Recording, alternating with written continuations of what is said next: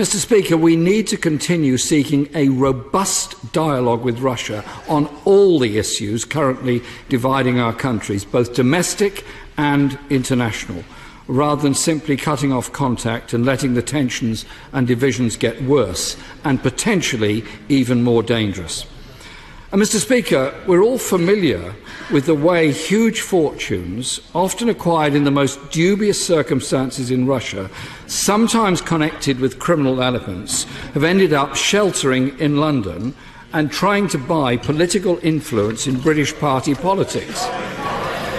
Meddling in elections, as the Prime Minister put it, there has and there has been over £800,000 worth of donations to the Conservative Party to the Conservative Party from Russian oligarchs and their associates. So, so, Mr. Speaker, if that is the evidence before the government, even before the investigation into Salisbury is complete, the government could be taking action, could be taking action to introduce new could be, could be taking action to introduce new financial sanctions powers.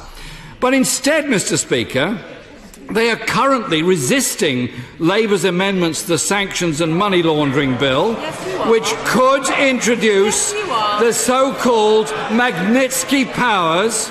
So, will the Prime Minister agree today to back those amendments to the Sanctions and Money Laundering Bill?